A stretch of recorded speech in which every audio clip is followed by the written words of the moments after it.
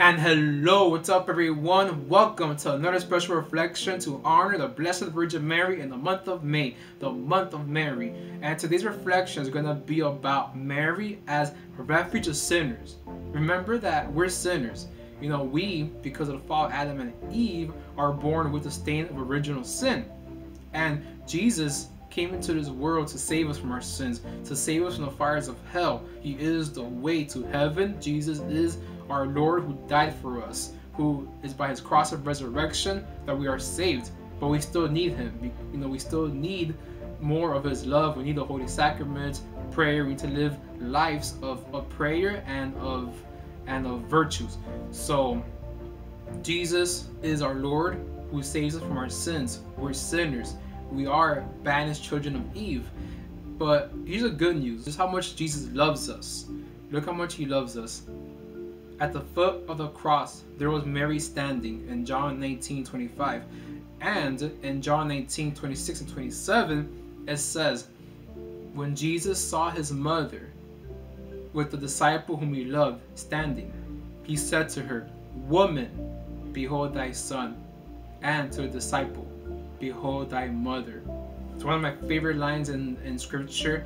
Jesus gives us gives us his own mother to be the refuge of sinners, to be our refuge. She we, she wraps us under her mantle. She takes us to heaven. She all she wants for us is what's best for us. That's the way I put it.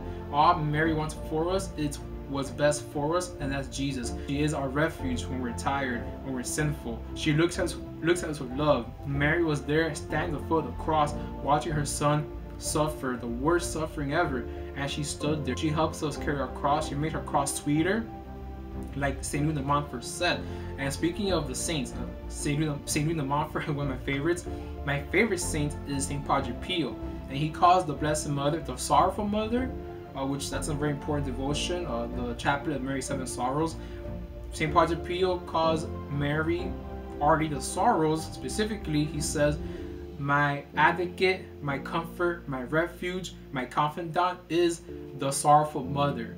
Mary is going to be there for us, getting closer to Jesus and whatever we go through.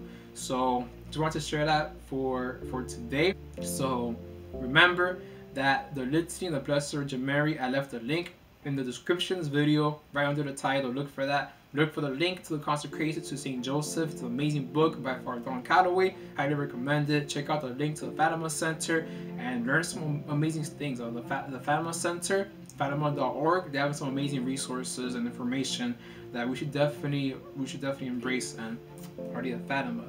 And that's it for today. Be on the lookout for the next video on Monday. Thank you for your support. I am Freddy and I am out.